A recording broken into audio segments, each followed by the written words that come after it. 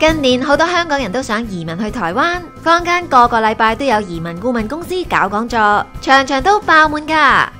喺二零一四一五打後，直至到現在接近二零二零啦，台灣應該已經唔係第一就係、是、第二、第三。對上嗰五年左右啦，頭嗰一兩年可能講緊每年幾百人嘅啫。二零一九年咧，我預估應該會超過二千人，真係叫做定居入籍攞身份證嗰種啦。咁而申請居留證嘅人數應該係喺度嘗試緊破萬嘅。上半年其實都不斷上升緊㗎啦，二零一八都上升緊㗎啦，但係二零一九嘅下半年開始啦，我會見到嗰個級數係即係幾何級數翻倍咁樣上咯，差唔多每日我都有約見人嘅。最犀利嘅時候，我係一日見八至九組客人嘅。我哋自己都講緊二三十單咁樣去簽嘅。喺地理位置上啦，喺文化飲食、日常生活上同香港比較接近啦。台灣投資移民嗰個門檻相對嚟講真係比較低啦。我哋嘅客人由二十幾歲到六十幾歲都有，適合唔同階層、唔同年齡層嘅朋友。喺台灣讀書嘅朋友啦，如果佢係讀過一啲一年以上嘅大學本科、碩士等等啦，畢業之後咧，佢有兩個途徑係可以選擇留翻喺台灣嘅。第一個途徑咧就係佢選擇係揾一啲符合資格嘅公司，呢啲公司咧約莫係一千五百萬至到三千萬台幣嘅創業資本，需要符合到呢啲資本，佢先至可以聘請一啲海外人士嘅，係工作三年啦至到五年，佢需要有一個本地最低工資兩倍啊，即係 double 嗰個薪金先至係可以係計落嗰個年份入邊嘅。目前兩萬零蚊嚟講，連埋勞健保咧，五萬蚊台幣左右嘅薪金咧，係持續去工作。咁當中係可以換公司嘅，但係就當然公司都要符合翻誒呢個招聘嘅資格啦。第二個方法就比較簡單啲嘅，以港澳嘅僑胞嚟講咧，佢喺台灣嘅大學畢業咗之後啦，佢翻香港工作兩年，持有兩年嘅工作經驗，可以咧係用橋生畢業嘅身份咧，再申請翻翻去台灣。咁呢個情況下，佢就冇一個薪金嘅要要求，亦都冇話要投資啦，住夠嗰個時間咧就可以係入籍成為國民嘅，係有一種係依親類別嘅移民嘅三種啦。第一種就係配偶咧，假設係譬如先生喺香港揾錢揾得多啲嘅，太太帶小朋友先過咗去移民，咁其實先生係冇申請移民嘅。咁喺咁嘅情況之下咧，就太太成為咗國民之後咧，係可以咧幫先生申請依親嘅移民嘅。第二種咧就係父母啦。咁一般情況下，誒主申請人配偶啦，同埋佢哋成為咗國民之後咧，兩位嘅父母咧係可以咧係用依親類別係移民嘅。而第三種咧就係已經成年嘅子女，基於一個家庭團聚嘅人道關係，咁所以亦都冇存在話要投資啊或者等等。但係咧所謂嘅坐移民監喺在台逗留嘅條件咧係一樣嘅，都係一年咧住夠十一個月啦，或者係兩年每年咧係住夠二百七十日。呢一個專業類別嘅移民咧就唔係打工嘅，係根據你過往嘅專業係被台灣政府認定咧係可以攞到居留證而坐夠在台日子咧，亦都係可以入籍嘅。譬如啲咩師咩師啊、律師啊、會計師啊、醫師啊或者醫護人員啦，最重要留意一樣嘢就係咪可以執業嘅？有一啲佢可能係工程師或者會計師嚟嘅，但係佢唔能夠係簽紙去被香港政府所認可嘅。譬如機電工程師，佢可以簽嗰個電梯嗰張紙嘅，或者會計師佢係可以簽公司報稅嗰張紙嘅。咁呢一種香港政府發出嘅執業資格認可嘅執業資格係可以移民台灣嘅。醫護人員啦，咁由醫管局啦或者相關機構發出嘅執業資格係可以嘅。同時間咧，過去嗰兩年就住呢一個專業嘅工作經驗係可以咧去嘗試去申請嘅。教職員啦、記者、傳媒、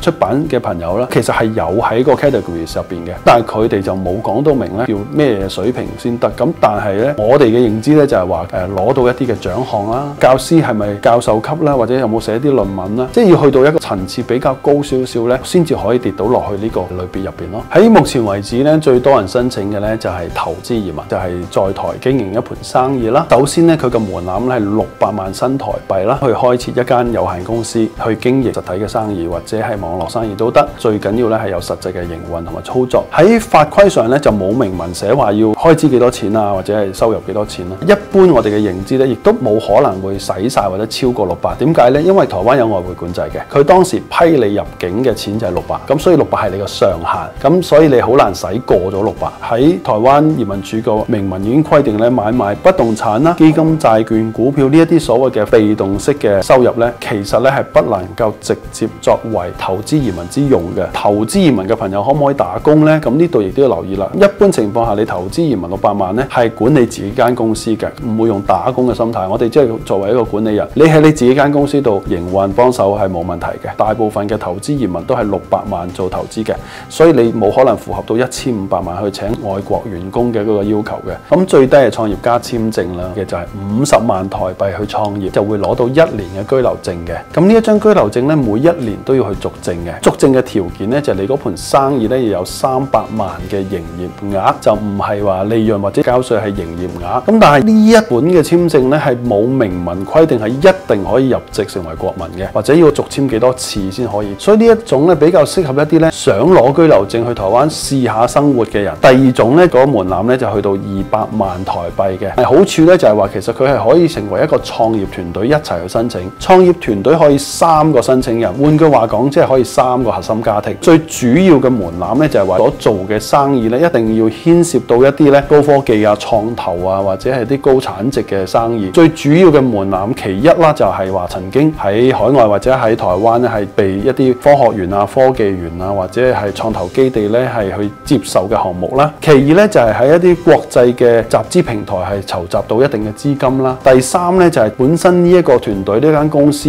係擁有或者係持有授權係一啲國際嘅專利權嘅產品啦。最後咧呢一啲公司可能要係得到咗天使投資人啊 （virtual capital） 或者 angel funding 或者國際嘅創投基金去入股，每年咧呢一間公司咧都係符合三百萬台幣嘅營業額啦，或者就係有一百萬台幣嘅支出。呢一啲嘅投資者咧，基本上咧就喺台灣居留五年，係可可以申請成為國民入籍嘅。所以你冇可能符合到一千五百萬去請外國員工嘅嗰個要求嘅。日常嘅起居上面分別不大嘅，唯一比較大嘅分別就係行使政治嘅權力，包括就係選舉及被選嘅權力。當然有啲居留權話唔可以就業啦，如果係投資移民嘅配偶嘅居留就唔能夠就業啦。最重要亦都係一樣嘢牽涉到小朋友嘅就係，當你成為咗國民之後呢，你可以就住你嗰個校網啦、校區呢係申請國民小學同埋國民中學啦。咁一般情況下，即係攞住居留權嘅朋友嘅小朋友呢，建議佢讀翻私校啦，或者係國際嘅學校啦，未成為國民都可以攞到健保嘅。以往呢，對於香港人嘅職業呢，就冇乜特別限制嘅。十月喺申請批文嘅時候呢，開始要在職證明或者叫做職業證明，理由就係話想睇下你做咩啦。我又唔會揣測佢係想限制某一啲嘅行業嘅人去啦。同以前比，你要多封僱主嘅信去證明你係做咩行業。經歷咗之前一四年嘅雨傘運動啊，同埋今年嘅送中條例啊，對移民嘅